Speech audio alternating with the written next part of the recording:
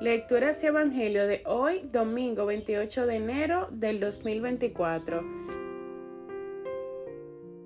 Quiero invitarte a que te quedes hasta el final. Si aún no te has suscrito en nuestro canal, dale a la campanita que está debajo, compártelo con tus familiares, con tus amigos, hermanos de comunidad y personas cercanas a ti. Primera lectura. Lectura del libro del Deuteronomio. Moisés habló al pueblo diciendo, Un profeta de entre los tuyos, de entre tus hermanos, como yo, te suscitará el Señor, tu Dios. A él lo escucharás. Es lo que pediste al Señor, tu Dios, en el Horeb, el día de la asamblea. No quiero volver a escuchar la voz del Señor, mi Dios, ni quiero ver más ese terrible incendio. No quiero morir. El Señor me respondió, tienen razón, suscitaré un profeta de entre sus hermanos, como tú. Pondré mis palabras en su boca y les diré lo que yo le mande. A quien no escuche las palabras que pronuncien mi nombre, yo le pediré cuentas. Y el profeta que tenga la arrogancia de decir en mi nombre lo que yo no le haya mandado o hable en mi nombre de dioses extranjeros, ese profeta morirá. Palabra de Dios. Te alabamos, Señor. Salmo. Al salmo vamos a responder. Ojalá escuchen hoy la voz del Señor, no endurezcan su corazón. Vengan, aclamemos al Señor, demos víctores a la roca que nos salva, entremos en su presencia dándole gracias, aclamándolo con cantos. Ojalá escuchen hoy la voz del Señor, no endurezcan su corazón.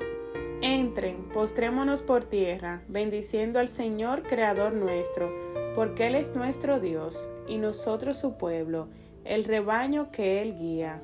Ojalá escuchen hoy la voz del Señor, no endurezcan su corazón.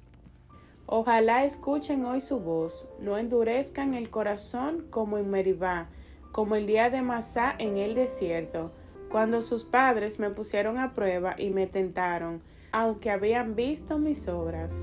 Ojalá escuchen hoy la voz del Señor, no endurezcan su corazón. Segunda lectura. Lectura de la primera carta del apóstol San Pablo a los Corintios. Hermanos, quiero que se ahorren preocupaciones.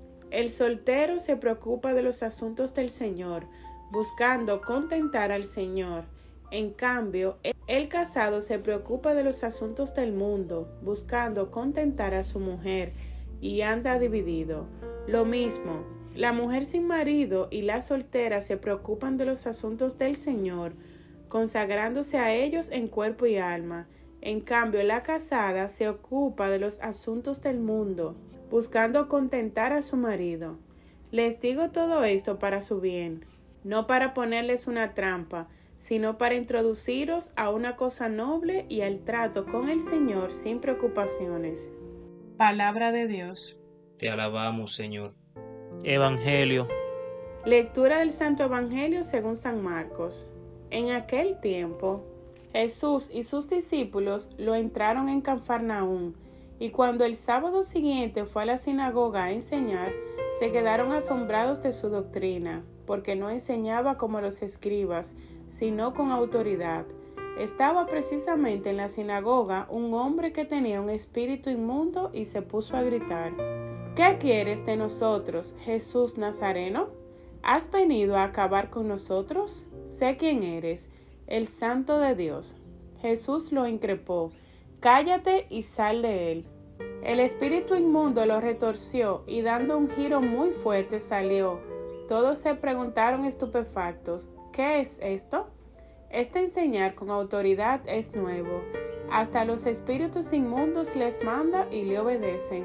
Su fama se extendió enseguida por todas partes, alcanzando la comarca entera de Galilea. Palabra del Señor. Gloria a ti, Señor Jesús. Meditación. ¿Qué es esto? Este enseñar con autoridad es nuevo. Les enseñaba con la autoridad del amor en nuestra sociedad estamos acostumbrados a enfocarnos y sobre todo a admirar a las personas saludables, llenas de vitalidad, jóvenes atractivas y adineradas. Sin embargo, pasar por alto y no prestar atención a los millones de personas que experimentan sufrimiento debido a su debilidad, pobreza, enfermedad, fracasos o derrotas, es ignorar por completo la esencia de la vida humana. La atención de Jesús de Nazaret se centró precisamente en aquellos a quienes nadie deseaba conocer. No fue una coincidencia que eligiera inaugurar el reino de Dios al sanar a un enfermo en la sinagoga de Canfarnaón.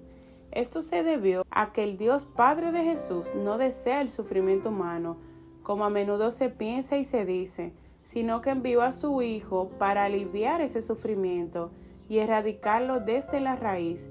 Jesús hablaba con la gente en todas partes, allí donde se encontraban, pero su lugar preferido era la sinagoga, donde se reunían los vecinos piadosos, sobre todo los sábados, para rezar, recitar o cantar salmos, interpretar la palabra de Dios y a dialogar sobre los problemas comunes y puntuales. En su oración pedían la llegada del liberador y Mesías prometido.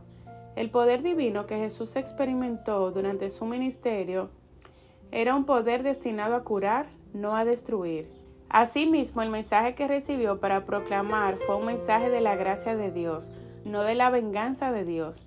Nosotros, como cristianos, mientras somos sanados por nuestros semejantes, también somos llamados por el Espíritu de Jesús a ser sanadores de otros seres humanos que padecen diversas dificultades. El gran secreto de Jesús, su buena noticia, estuvo en la manifestación del rostro y de la persona entera de Abba, su Padre. Jesús destacó entre sus rasgos identificativos su bondad, Dios es bueno, más y por encima de todo lo que nosotros podamos entender por esta palabra. Dios es bueno con él y con todos sus hijos e hijas. Este debería ser el marco de referencia donde encuadrar las palabras y gestos de Jesús hoy en el Evangelio y todo lo que vamos a seguir proclamando a lo largo de todo el año litúrgico. ¿Qué quieres de nosotros, Jesús Nazareno? Esa es la entera pregunta que nos seguimos haciendo sus seguidores continuamente. ¿Qué quieres de nosotros? Porque también nosotros sabemos que es el Santo de Dios, que predica, explica las escrituras y luego vive, obra y, actúa en consonancia con lo que enseña. Oración. Dios amoroso, danos la compasión y la sabiduría para aliviar el sufrimiento de quienes nos rodean Ayúdanos a ser sanadores que hacen, que han experimentado tu amor y misericordia. Amén. Contemplación.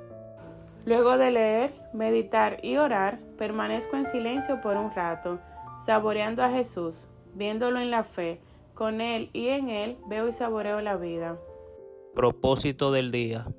Mostrar bondad y compasión hacia al menos una persona necesitada ofreciendo apoyo a una palabra amable para aliviar su carga.